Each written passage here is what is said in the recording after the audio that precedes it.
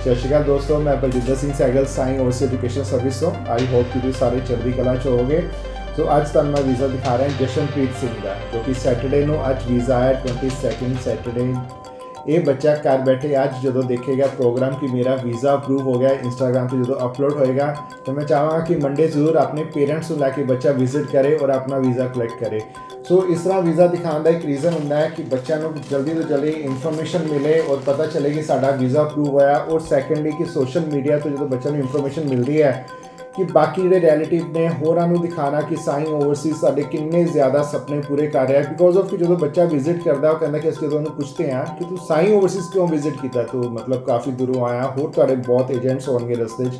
ਤਾਂ ਉਹਦਾ ਕਹਿਣਾ ਹੁੰਦਾ ਸਰ ਕਿ ਅਸੀਂ ਇੰਸਟਾਗ੍ਰam ਫੇਸਬੁੱਕ ਤੇ ਦੇਖਦੇ ਹਾਂ ਕਿ ਡੇਲੀ ਤੁਹਾਡੇ ਇੰਨਾ ਵੀਜ਼ਾ ਆ ਰਹੇ ਨੇ ਬਿਕੋਜ਼ ਆਫ ਸਾਨੂੰ ਹੁੰਦਾ ਕਿ ਅਗਰ ਸਾਈ ਓਵਰਸੀਜ਼ ਜਾਵਾਂਗੇ, ਇਹਨਾਂ ਦੇ ਡੇਲੀ ਵੀਜ਼ਾ ਅਪਰੂਵ ਹੋ ਰਹੇ ਨੇ।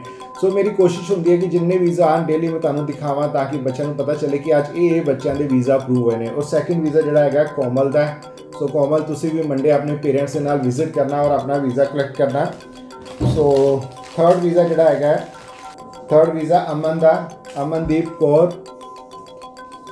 ਸੋ ਅਮਨਦੀਪ ਕੌਰ, ਤੁਸੀਂ ਮੈਨੂੰ ਪਤਾ ਤੁਹਾਡਾ ਸਪਾਊਸ ਕੇਸ ਹੈ ਤੁਸੀਂ ਵੇਟ ਕਰ ਰਹੇ ਹੋਗੇ, ਤੁਹਾਡੇ ਸਪਾਊਸ ਦਾ ਵੀਜ਼ਾ ਆਇਆ ਕਿ ਨਹੀਂ ਆਇਆ? ਸੋ ਮੈਂ ਚੈੱਕ ਕਰਦਾ ਕਿ 5th ਨੰਬਰ ਤੇ ਤੁਹਾਡੇ, ਪੰਜਾਂ ਹੀ ਤੁਹਾਡੇ ਸਪਾਊਸ ਦਾ ਵੀਜ਼ਾ ਅਪਰੂਵ ਹੋਇਆ ਕਿ ਨਹੀਂ ਹੋਇਆ। ਸੋ ਇਹ ਇਸ਼ੂ ਹੈ। ਸੋ ਤੁਹਾਡਾ ਵੀ ਵੀਜ਼ਾ ਕੰਗ੍ਰੈਚੁਲੇਸ਼ਨਸ ਤੁਹਾਡਾ ਵੀਜ਼ਾ ਅਪਰੂਵ ਹੋ ਚੁੱਕਾ ਹੈ ਔਰ 5th ਹੁਣ ਦੇਖਦੇ ਹਾਂ ਸਸਪੈਂਸ ਸਸਪੈਂਸ ਹੈ ਸਾਰਿਆਂ ਵਾਸਤੇ। ਨਹੀਂ।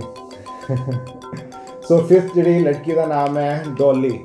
ਸੋ ਡੋਲੀ ਕੰਗ੍ਰੈਚੁਲੇਸ਼ਨਸ ਤੁਹਾਡਾ ਵੀਜ਼ਾ ਵੀ ਅਪਰੂਵ ਹੋ ਚੁੱਕਾ ਹੈ। ਸੋ ਮੈਂ ਕਾਫੀ ਜ਼ਿਆਦਾ ਇਨਫੋਰਮੇਸ਼ਨ ਦੇਣਾ ਚਾਹਾਂਗਾ। ਬਹੁਤ ਜ਼ਿਆਦਾ ਸਪਾਊਸ ਵੀਜ਼ਾ ਸਾਈਨ ਓਵਰਸੀਜ਼ ਤੋਂ ਅਪਲਾਈ ਹੋ ਰਹੇ ਨੇ। ਕਈਆਂ ਦੇ ਸਪਾਊਸ ਦੇ ਵੀਜ਼ਾ ਸੇਮ ਡੇ ਨਹੀਂ ਆ ਰਹੇ। ਸੋ ਘਬਰਾਉਣ ਦੀ ਜ਼ਰੂਰਤ ਨਹੀਂ ਹੈ। ਅਗਰ ਮੇਨ ਐਪਲੀਕੈਂਟ ਦਾ ਵੀਜ਼ਾ ਆਇਆ, ਤੁਹਾਡੇ ਸਪਾਊਸ ਦਾ ਵੀਜ਼ਾ ਨਹੀਂ ਆਇਆ, ਤਾਂ ਪਲੀਜ਼ ਘਬਰਾਣਾ ਨਹੀਂ। ਇਹ ਨਾ ਸੋਚਣਾ ਕਿ ਤੁਹਾਡੇ ਸਪਾਊਸ ਦਾ ਵੀਜ਼ਾ ਨਹੀਂ ਆਏਗਾ। ਡੈਫੀਨਿਟਲੀ ਸਾਈਨ ਓਵਰਸੀਜ਼ ਦੇ ਕਮਿਟਮੈਂਟ ਕਰ ਰਹੀ ਹੈ ਕਿ ਜਿੰਨੇ ਵੀ ਅਸੀਂ ਸਪਾਊਸ ਕੇਸ ਲਗਾਏ ਨੇ, ਹਜੇ ਤੱਕ ਜੈਨ ਇੰਡੈਕ ਦੇ ਸਾਡੇ 100% ਵੀਜ਼ਾ ਇੱਕ ਸਿੰਗਲ ਵੀਜ਼ਾ ਵੀ ਰਿਫਿਊਜ਼ ਨਹੀਂ ਹੋਇਆ। ਮੈਂ ਚੈਲੰਜ ਨਾਲ ਚੀਜ਼ ਕਹਿ ਰਿਹਾ।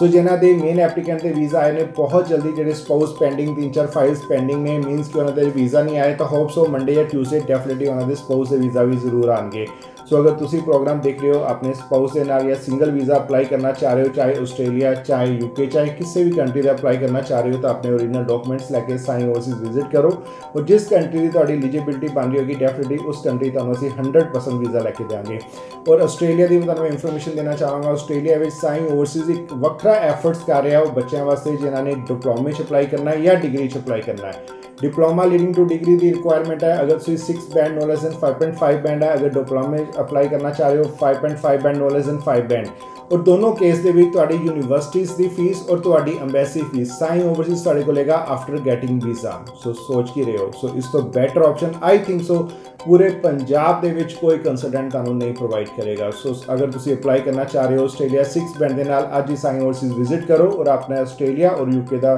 ਜਾਣ ਦਾ ਸੁਪਨਾ ਆਪਣਾ ਪੂਰਾ ਕਰੋ। Thank you very much